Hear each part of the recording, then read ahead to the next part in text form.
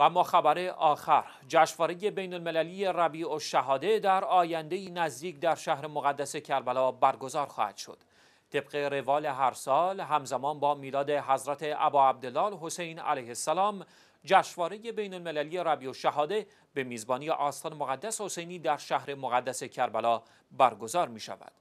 یکی از بخش های این جشنواره کنفرانس ربیع شهاده می باشد که بنابر گزارش پایگاه اطلاع رسانی آستان مقدس حسینی میزبانی آن بر عهده بخش امور آموزش اسلامی این آستان شریف است. امار الحلیلی یکی از اعضای کمیته برگزاری این کنفرانس گفت کنفرانس امسال در چهار گروه اخلاق، انسانیت، حقوق و فقه برگزار خواهد شد و مقالات ارسالی نیز باید در یکی از این چهار گروه جای گیرد.